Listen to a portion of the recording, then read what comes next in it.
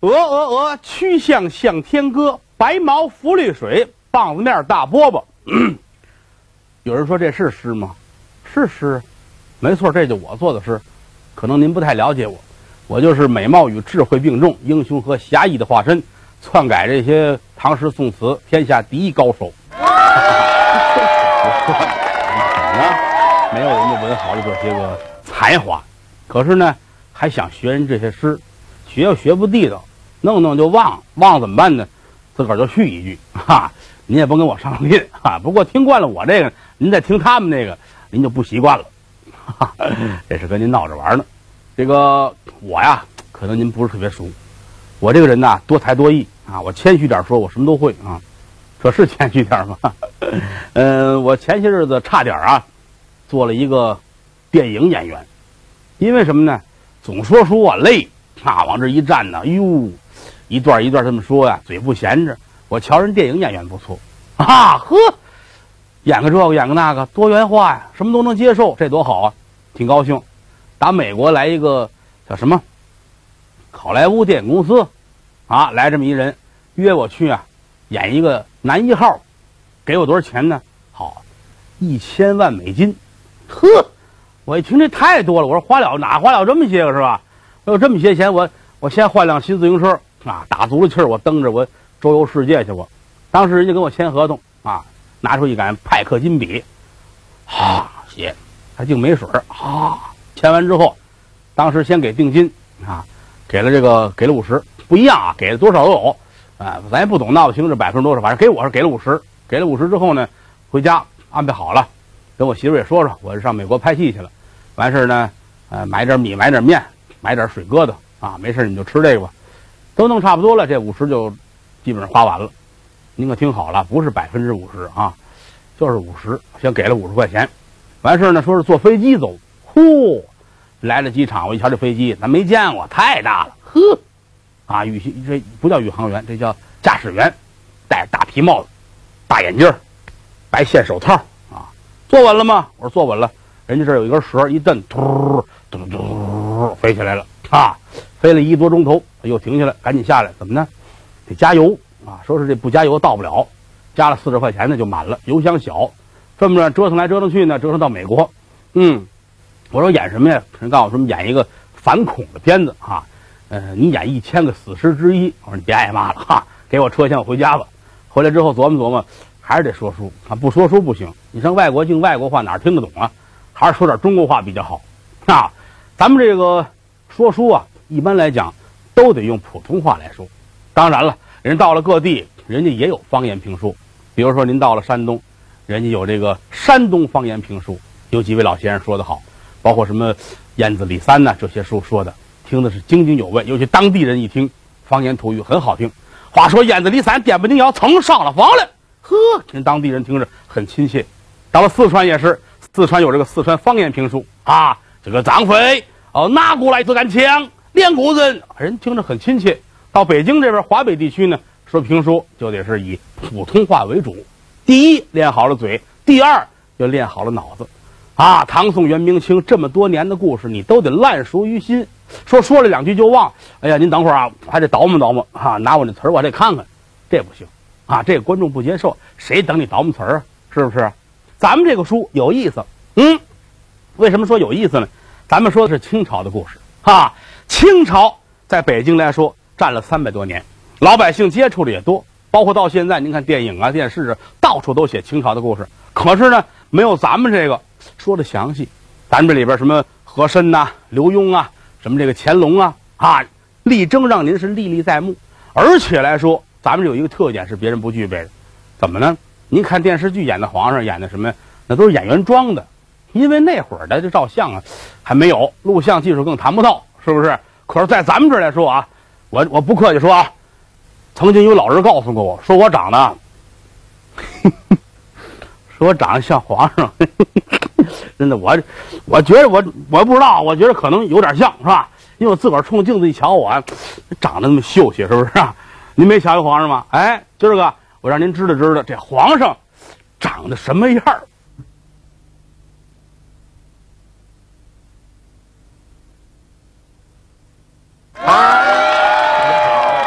真帅不帅啊？反正看完我这个，估计吐的得有几位。闲话少说啊，说归正传，为什么说要塑造一个这个形象呢？因为这个人物啊，他很有喜剧特点。乾隆皇帝区别于别的皇上不一样，别的皇上都是正襟危坐啊，拧着眉瞪着眼，唯独这个皇上他会开玩笑。你看，就跟这次似的，在金銮殿上跟刘墉俩人说话，说来说去说到罗锅这儿了。然而刘墉啊，哐走两万两银子，皇上心里堵得慌。他再有钱呢，他也不愿意多花。自个儿一琢磨，一年两万，这十年二十万，他活个百八十年的健康长寿，我这挑费可就大了。这可不行，这个想一什么办法呢？想个主意，把这两万两银子给他 K 去，罗锅俩字去消。嗯，这个刘墉啊，三朝之后你别走，随朕咱们北海游。臣遵旨，谨遵王命。君臣二人来在了北海，站在太液池边，微风吹来，水波浪扑棱扑棱。皇上心说：嘿，这机会可来了。嗯，刘墉啊。朕问你一句话吧，有这么句话叫“君叫臣死，万岁，臣得死；父叫子亡，子得亡。”好，你是忠臣，你是奸臣，臣愿做清官忠臣。好，现如今孤王给你口旨一道，眼前就是太液池，你跳下去。皇上什么意思呀？你呀跳，反正你肯定不跳。你要不跳呢，我就说你哈，你抗旨不遵。罗锅俩字取消，这一年两万两银子我不给了。你要真跳，我赶紧让人捞你，捞上来你还是死不了。你不死，我就说你抗旨不遵啊！这两万两银子我左右，反正我是省去了。皇上想的挺好，臣遵旨。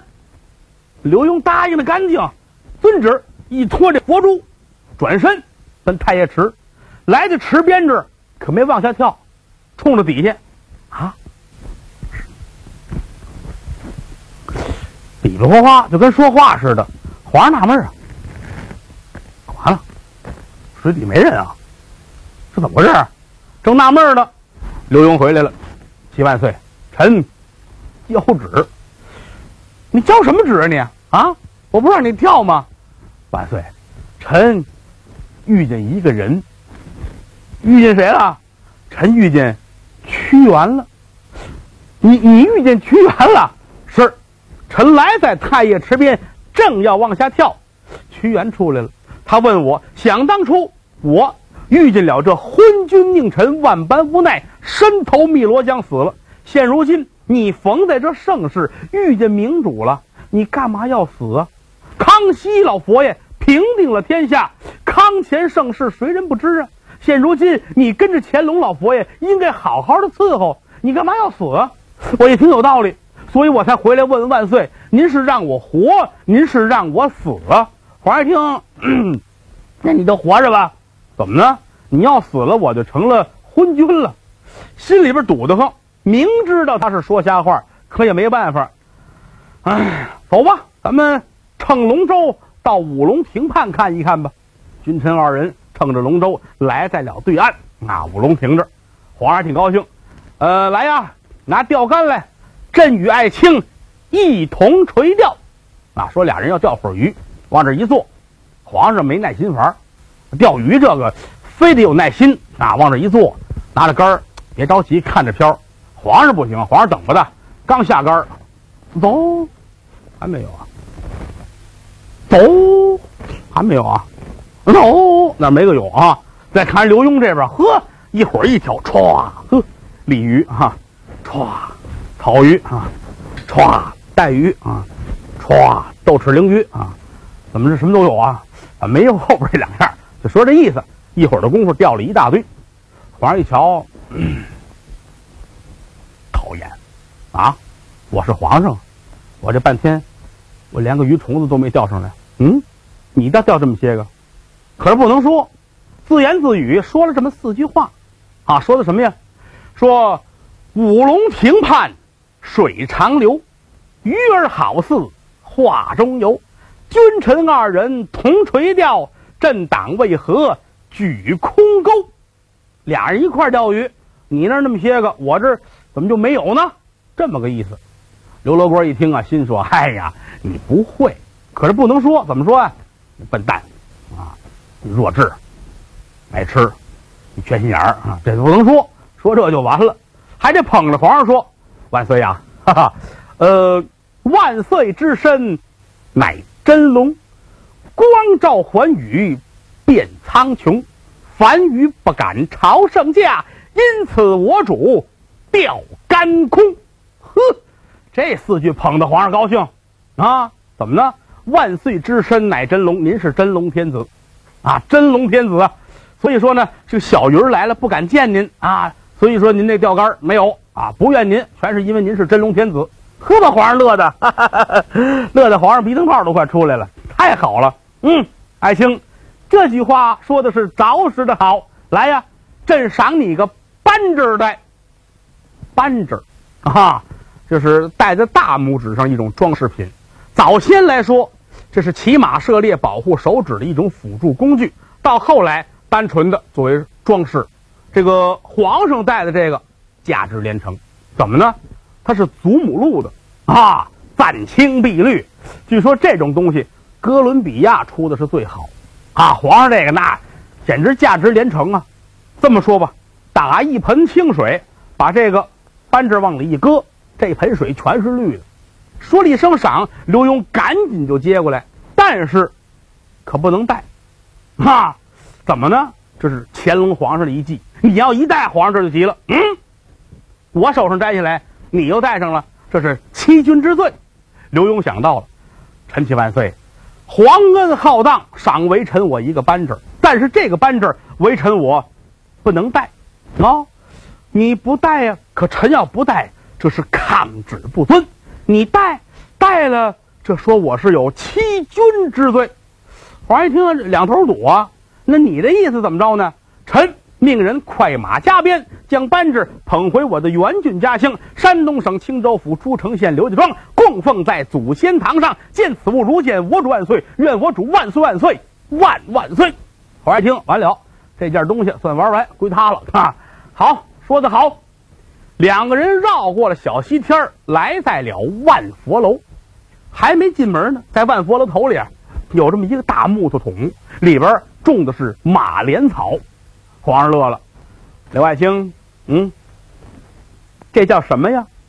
这是诚心啊！如果说乾隆问完之后，刘墉告诉这是马莲草，皇上当时就说了：这么大的啊大臣，这么大的身份，说话跟老百姓一样，出言必俗啊！行了，也不打你不骂你，罗锅俩字取消啊，两万两银子也不给了。他是这么想的。刘墉想到了，万岁，此乃。一统万年青，多会说话啊！既找这谐音，还是句吉祥话。一统万年青，皇上一听，呵，说的太好了啊！说话这档次高啊，而且寓意我大清江山万年久长啊！好，说的好，万岁，您赏我点什么呀？啊？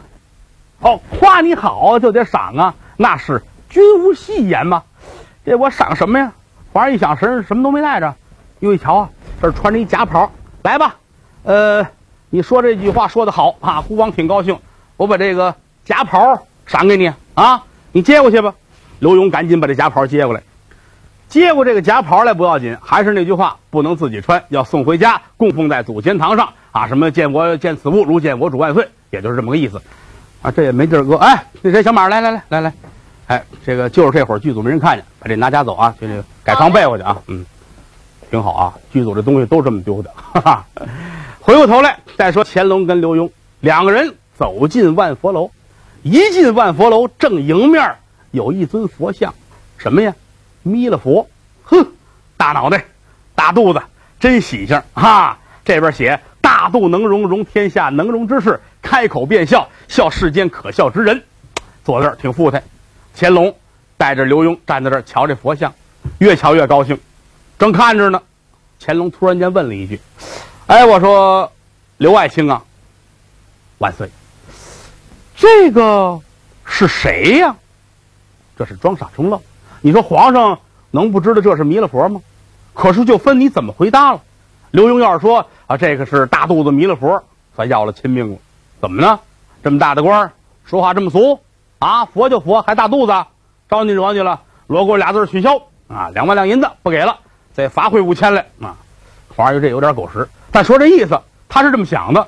刘墉多聪明，万岁，此乃一尊欢喜佛。他话说的有意思，欢喜佛，欢欢喜喜，开怀大笑。哦，这是欢喜佛呀？那他为什么冲着朕笑呢？刘墉心说：冲着你笑，他冲谁都那样啊！可是不能这么说。万岁，此乃佛见佛笑。这话说的有水平啊！啊，佛见佛笑。清朝时候这皇上都自称自己是老佛爷。嗯，您也是佛，他也是佛，佛见佛啊！大老何他看见他乐高兴，呵，此乃佛见佛笑，呵，皇上高兴了，哈哈，往旁边一扭，那他干嘛也冲着你笑啊？这皇上多不是东西啊！这不诚心吗？呃，他他笑为臣不修道，话回答的好啊！怎么呢？他笑您呢？您是佛呀？他笑我呀？说我不修道。皇上一听，嗯，来，你说的好，好，您赏我点什么啊？哦，说好就得赏。是啊，打刚才您不就是夸完之后就赏我吗？有道是君无戏言。哎，我赏你什么呢？皇上一琢磨，这身上还穿着一马褂，八团龙黄马褂，哈，平金的断袖，一伸手把这脱下来了。那什么？朕也没别的，我把这马褂赏给你穿就得了。好，臣谢主隆恩。皇上心里比谁都别扭，这怎么话说的啊？我夸他一个好就要东西，明明说我想把这两万两银子要回来，我想把这俩字取消，可现在来说这玩意儿，这他他处处占我的便宜，这可不行。来呀，咱们上楼吃饭吧。君臣二人要上楼吃饭啊！噔噔噔噔噔，迈步往楼上就走，一边走着，皇上得在头里边，刘墉在后头。刘墉说了句话：“万岁爷上楼，臣念一句吉祥话，愿我主步步登高。”啊，说得好，上楼可不是步步登高吗？皇上高兴，哈哈哈哈！哈啊，说的太好听了啊！我是步步登高，嗯，不错。站在楼梯口这儿，皇上这脑袋滋溜转了一下，马上一扭脸儿，冲下走了一步。刘墉，朕党刚才上楼的时候，我是步步登高，现如今我下楼，你看我这叫什么呀？刘墉心说：“这叫什么呀？步步登空，步步呲溜，一步不如一步啊！这不能说呀。”猛然间想起来了，万岁，万岁爷下楼，您是后辈倒比前辈高，皇上还挺高兴。哎呀呵，说得好。其实刘墉啊，这是骂皇上，后辈倒比前辈高，就说你呀也是罗锅。可皇上没明白，好，说的太好了，万岁，说的好，您赏我点什么？皇上说没事我赏你点什么呢？皇上低头一看呢，哎，我这还一小罐，干脆这么着，我把这小罐赏给你得了。一解扣一琢磨还不行。给了你这个他我就光膀子了就。